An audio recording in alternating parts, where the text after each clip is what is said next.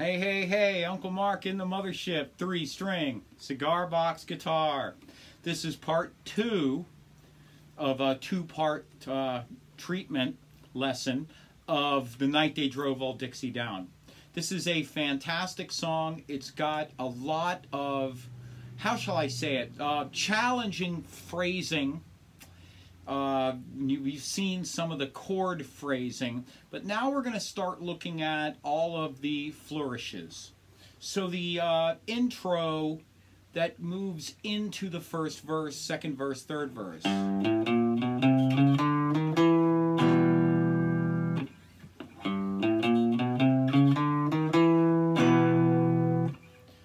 Like in the first lesson, we talked about the difference between E minor 420 and 424. I like the E. Um, I readily grab the E faster. And, and this is mostly me and my ear. Your ear is different and it's going to be different. So I want you to be able to use both chords interchangeably. That would be ideal for you as a player. And that way you can determine at the moment how you want it to sound. And these are just ideas, but I think they're good ideas. And I think uh, that if you're willing to give it a go, I think you're going to discover that you may find E works better than E minor. You may find A minor works better than A you may want the challenge of an A minor that does this. Okay? Nine, seven, five. You may want that challenge and you may input that at a specific time just to be challenging. Or look, we all like to show off too. So just to show off. Sometimes we, we like that. That's fine. Um, we got a storm going on. I think my lights are going on and off. So it's kind of kind of weird, little brownouts. So what we're doing here, there's a couple of things. So I'm going to go through this one more time. I do want you to see my companion video. So I'm going to play this just like I played it on the um, companion video. And I'm even going to put my slide on here. And I'm going to show you how, to, how I did this. So at a good clip. Virgil Caine served on the Danville train. All right, what did I do? So, with the slide on, it takes your pinky away from fretting. So let's take it off for a second, and without using the slide, I would do this. Open, two, three, four, five, slide to six, go to the D string, open, two, one, two, make your chord.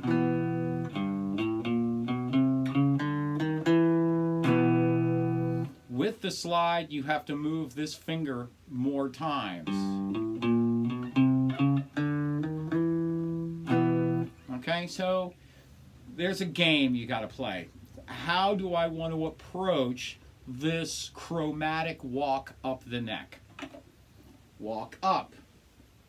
Up the neck this way, down the neck this way. Or, like I like to think of it, up the ladder, down the ladder. If you think of it like a ladder, it makes a lot more sense because if you saw music in a music book, you would notice that it goes up in pitch and goes down in pitch. So it walks slowly up and walks slowly down. Down is towards the headstock, up is towards the box. Some people get very confused in this. So, down, up,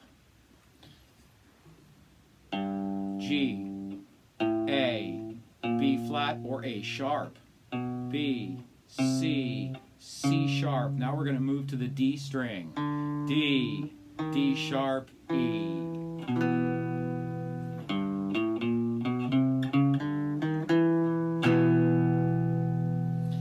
if you notice my hand is kind of splayed out here so that it's easy for me to grab. with the slide, I'm a little bit handicapped. And it took me a little while to figure out which finger I wanted it to be on, which finger I wanted to take away.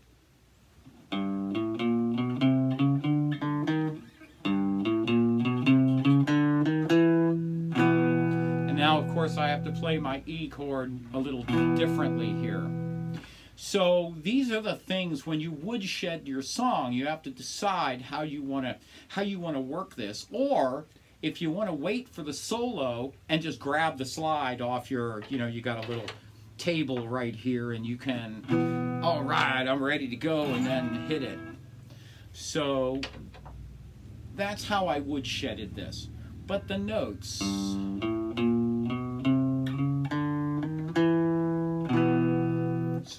Walking up the ladder. Even though you're changing strings, you're walking up the ladder. So then you go through the song and come up to C.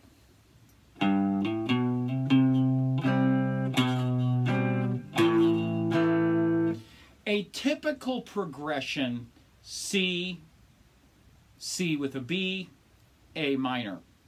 We talked about the A minor versus A. We're going to play A in this song. You don't need the minor. If you feel like playing the A minor, you go right ahead. It looks like that. Two, two, five. I just play the A. I don't see the, the, the need. That extra C note to me doesn't add to the song and by not playing it it doesn't take away from the song and maybe that's what I'm getting at so C B C. So what I do is just slide a little bit. A. So.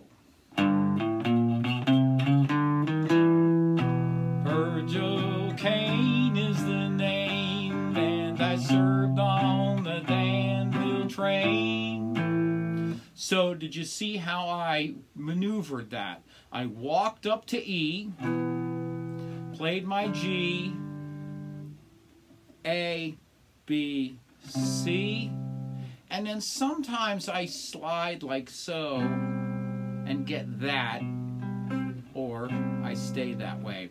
But what you're doing is, is going B, G, C, and then A.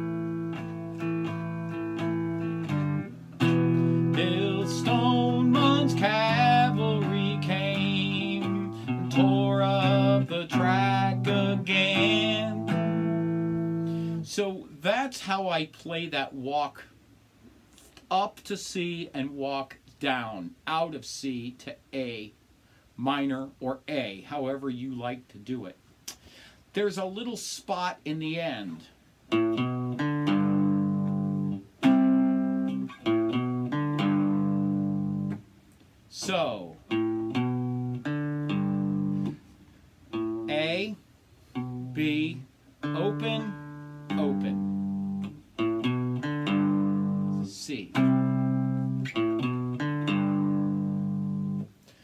When I was a young guitar player, that was very difficult for me. And I don't know why, but it happened to be very difficult. So if you have trouble with this little weird part in this song, which is truly important to this song, it kind of breaks everything, then, you know, it's okay.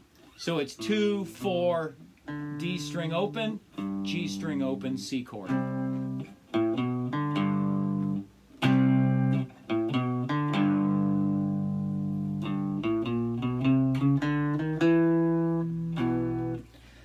When I decided to play slide on this, what I wanted to do was have a little solo. So instead of E here, I decided to go with E here. I decided to go with the G here. C, slide down to A, go back to E, go to G on the 12th fret. So what I did was is on the 9th fret, G on the 12th fret, C, B, A on the 2nd fret, E on the 9th fret, G on the 12th fret, C, B, A, back to E, to C. If you notice, I'm sliding into these bars.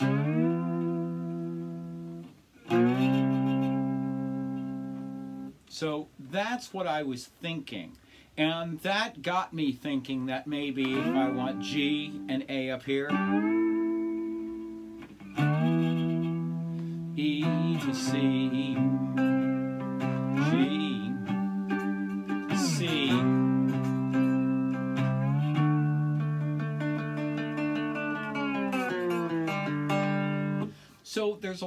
you can play with in this song if you understand your inversion, 4 to 4, and your E on 999, which on a slide would be that fret exactly.